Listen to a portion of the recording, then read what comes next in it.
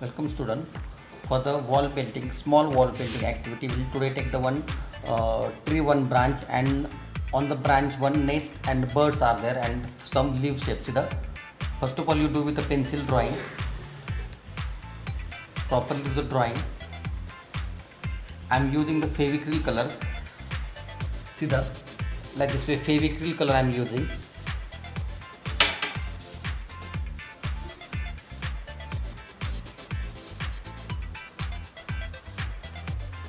Thank you.